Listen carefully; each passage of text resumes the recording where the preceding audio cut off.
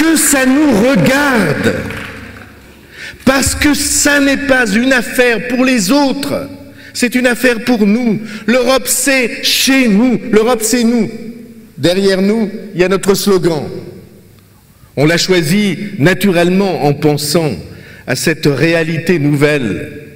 Europe devenue affaire de citoyens, pas affaire d'experts spécialisés, affaire de citoyens. Parce que toutes les grandes questions que nous, l'Europe, nous allons avoir à résoudre, elles regardent chacun d'entre nous dans la compétence qui est celle d'un citoyen. Je veux énumérer avec vous les questions planétaires.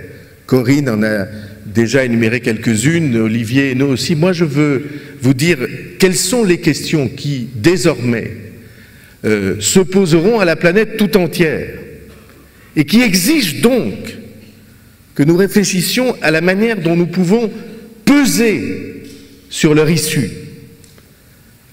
La crise économique, la guerre des modèles de société dans la mondialisation, la guerre des monnaies qui vient, les questions d'échanges internationaux, la question de l'environnement,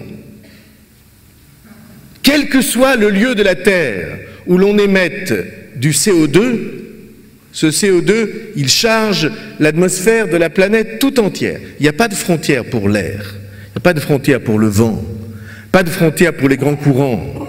Quel que soit le lieu où la mer est polluée, naturellement les courants emporteront la pollution ailleurs. Et donc la question de ce patrimoine précieux qui nous est confié au nom des générations à venir, le patrimoine naturel, le patrimoine de la biodiversité, ces questions sont des questions planétaires. La question de la pauvre Afrique abandonnée, c'est une question planétaire. Ne croyez pas que ce soit une question que pour l'Afrique.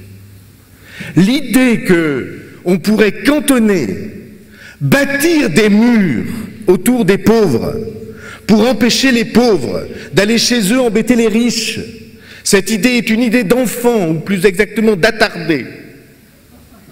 Pour ceux qui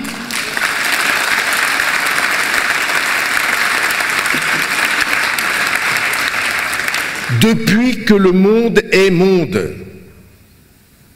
On sait que quand il y a des pauvres de plus en plus pauvres d'un côté et des riches de plus en plus riches de l'autre, quand les pauvres de plus en plus pauvres sont de surcroît de plus en plus nombreux et de plus en plus jeunes, et que les riches développés sont de surcroît de plus en plus vieux et donc de moins en moins nombreux, quelles que soient les mesures que l'on prend on a beau construire des murs, construire des miradors, mettre en place des barbelés, mettre des vedettes qui patrouillent avec des canonnières, mettre des radars, faire circuler des chiens policiers, quelles que soient les mesures que vous prendrez, quels que soient les efforts qui seront faits, écoutez bien, les pauvres iront chez les riches. Ils iront à pied, ils iront à la nage, ils iront en rampant, ils iront en creusant des tunnels.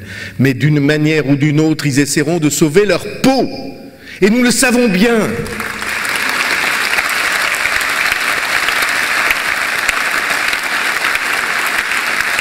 Et nous le savons bien puisque nous avons été, vous, les ch'tis, et nous, les Pyrénéens, les Béarnais, les Basques, à l'autre bout, nous avons tous les deux été des terres d'émigration. D'émigration. Avant d'être des terres d'immigration et de recevoir ceux d'entre nous qui sont d'origine polonaise, d'origine italienne, et Dieu sait que dans cette région, on en trouve de toute, euh, euh, origine, de toute racine. Avant d'être des terres d'immigration, nous avons été des terres d'émigration. Moi, je ne serais pas là s'il y a quelques cent et quelques années, un garçon des Pyrénées qui était déjà marié avec une jeune femme et qui avait déjà une petite fille n'était pas parti pour essayer, parti aux États-Unis, pour essayer de sauver sa peau, de trouver quelque chose à manger, un avenir pour les siens. Il est parti Et puis, euh, un jour, il a disparu. On n'a jamais su ni pourquoi ni comment. Il a fallu attendre sept ans pour que la jeune femme soit déclarée veuve et qu'elle puisse, à son tour, épouser mon arrière-grand-père.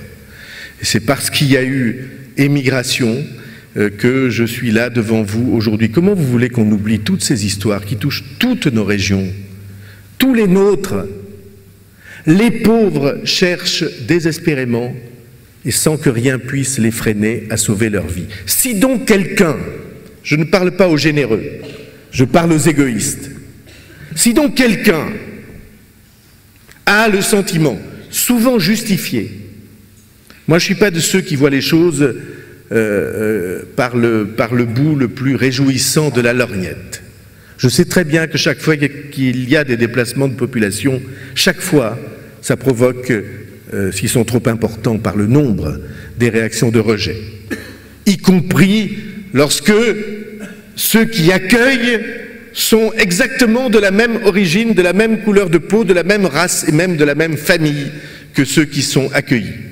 Il suffit d'aller à Mayotte pour voir, euh, vous savez que nous avons le député de Mayotte, Abdilatif Ouali, en Oran, on est donc souvent allé à Mayotte, il suffit d'aller à Mayotte pour voir les dégâts que provoquent les afflux de population comorienne à Mayotte. Ce sont les îles voisines, ce sont les mêmes familles.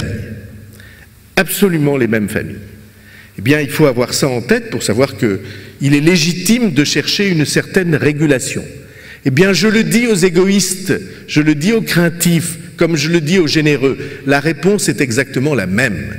Si vous voulez que l'Afrique cesse d'être ce continent déstabilisé, dans lequel les pays développés ont pris le risque sciemment de ruiner la totalité des paysans en euh, inondant le marché de céréales en particulier, à des prix écrasés parce qu'ils sont écrasés par les subventions que donnent les États-Unis ou que donne l'Union européenne, à tort, qui font que les paysans de chez nous ne peuvent pas vivre et qui tuent à coup sûr les paysans de là-bas. Si vous voulez que ça change, alors il faut que vous exigiez que l'on fasse pour l'Afrique ce qu'on a fait pour nous, l'Europe, au lendemain de la Deuxième Guerre mondiale. Il faut qu'on protège leur marché. Il faut qu'on leur fasse un plan Marshall avec un objectif qui doit être affirmé devant tout le monde. Cet objectif, ça doit être l'autosuffisance, que les paysans africains nourrissent les consommateurs africains et que les petites industries et les artisans africains équipent les consommateurs de leur continent. Si vous ne faites pas ça, vous ne faites rien.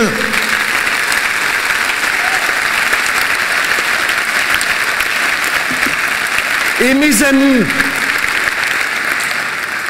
qui va le dire? Qui va défendre cette thèse? Autour de la table où se prennent les décisions internationales, ce n'est pas les États-Unis et ce n'est pas la Chine qui vont le faire. Ils sont engagés dans une guerre d'influence dont le but est de contrôler le maximum de matières premières possibles. D'ailleurs, la France joue son rôle aussi activement que possible dans cette guerre.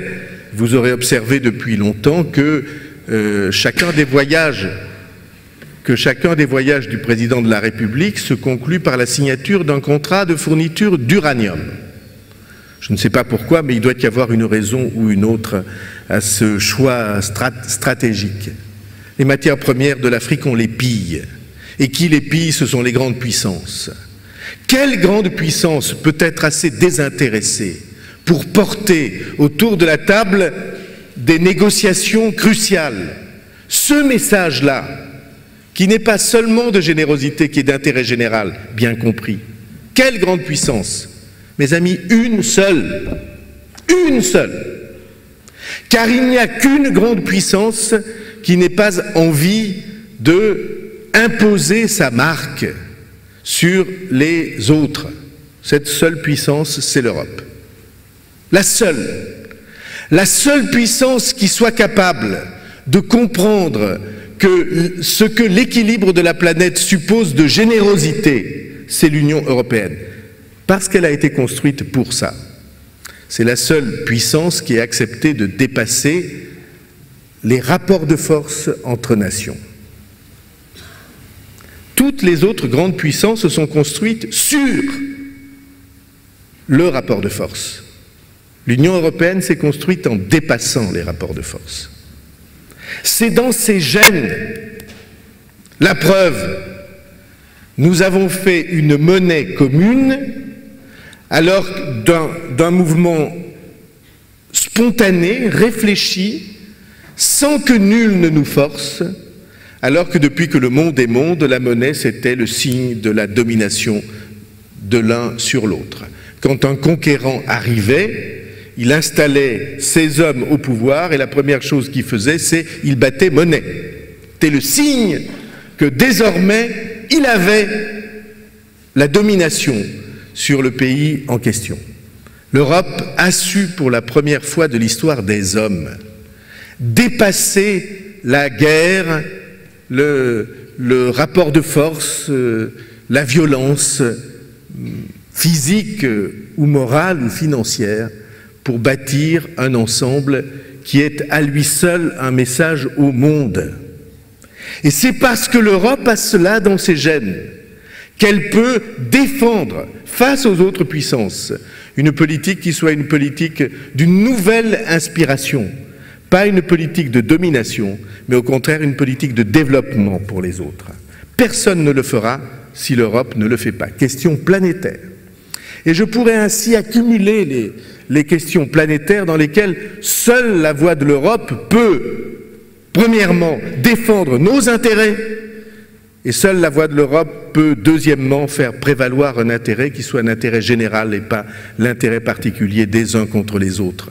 Nous avons, nous, Européens, un temps d'avance sur le reste des puissances de la planète. Et ça n'est pas un mince motif de fierté que d'avoir ce temps d'avance-là. Voyez-vous, nous sommes une famille politique. Cette famille politique, elle vient de loin, en tout cas de loin, dans le XXe siècle.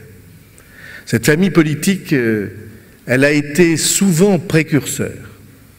Moi, je suis fier de penser que nous sommes la famille politique de ceux qui, les premiers et seuls, les premiers et seuls, ont eu le courage de dire non à Munich en 1938 à l'époque où tout le monde, à l'époque où, l'ensemble de l'opinion française tressait des couronnes aux négociateurs humiliés qui étaient allés signer avec Hitler euh, la terrible reddition des Sudètes.